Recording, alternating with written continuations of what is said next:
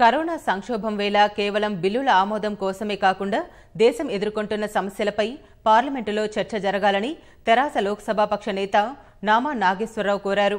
ఈ సమావేశాల్లో ప్రవేశపెట్టాలనుకుంటున్న ఇరవై ఐదు బిల్లుల్లో ప్రజా వ్యతిరేకమైన వాటిపై తమ గలం వినిపిస్తామని తెలిపారు.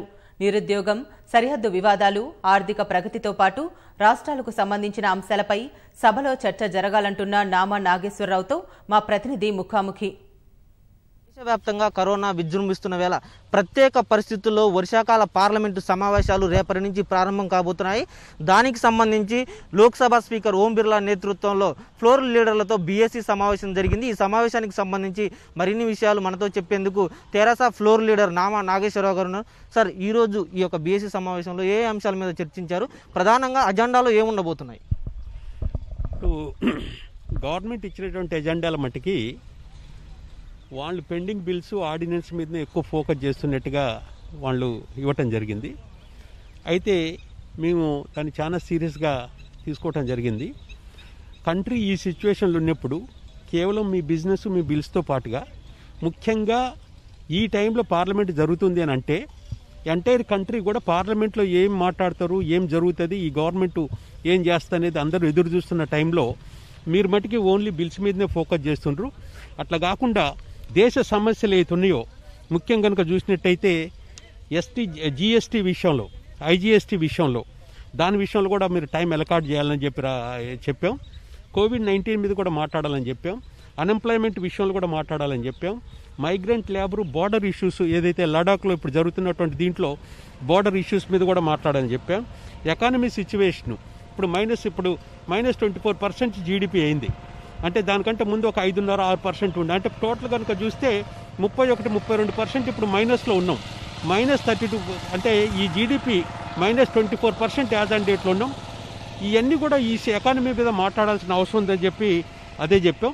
దాంతోపాటుగా స్టేట్ ఇష్యూస్ కూడా చాలా వరకు మాట్లాడాలని. ఎందుకంటే ఈ మధ్యన కొన్ని బిల్స్ ఇంట్రడ్యూస్ చేశారు.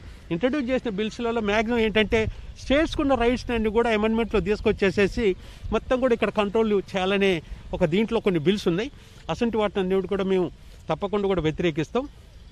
ముఖ్యంగా ప్రజా వ్యతిరేక ఇష్యూస్ రైతు వ్యతిరేక బిల్స్ కూడా కొన్ని ఉన్నాయి. ఎలక్ట్రిసిటీ బిల్లు ఉన్నది. అదేంటంటే ఇప్పుడు అందరికి కూడా మీటర్లు ఫిక్సప్ చేయాలి. ప్రతి ఒక్కళ్ళు కూడా మీటర్లు ఫిక్సప్ చేయాలనేది ఒకటి పెట్ట పె- పెడుతున్నారు. ఆ బిల్లు కనుక వచ్చినప్పుడు దాన్ని ఖచ్చితంగా కూడా అపోజ్ చేస్తాం. ఇది రైతు వ్యతిరేక బిల్ అది.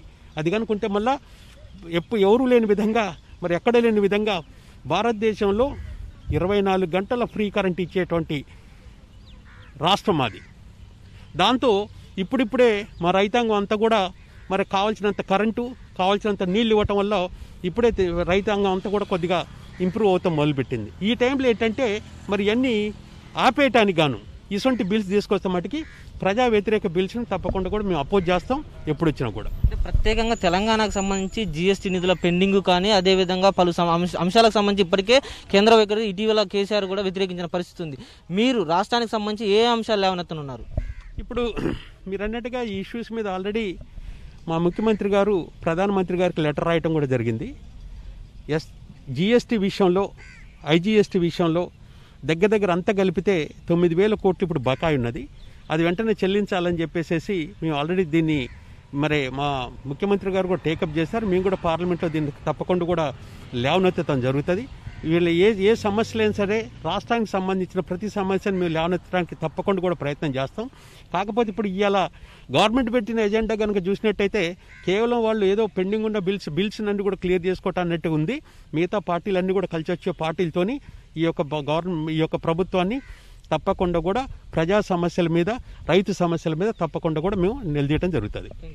ఇది ఆ కేంద్ర ప్రభుత్వం ఏదైతే పెండింగ్ ఉన్న బిల్లుల్ని ఆమోదించుకోవాలని అజెండాని పెట్టిందో అది కాకుండా ప్రస్తుతం ఉన్నటువంటి సమస్యలన్నిటిని కూడా సభలో లేవనెత్తాలి. రైతులకు ప్రజలకు పరిష్కారం చూపే విధంగా కూడా సభలో తమ గళాన్ని వినిపించబోతున్నామంటూ కూడా తెరాస ఫ్లోర్ లీడర్ చెబుతున్నారు. కెమెరామెన్ జవహర్ సింగ్తో విద్యాసాగర్ ఈటీవీ న్యూస్ న్యూఢిల్లీ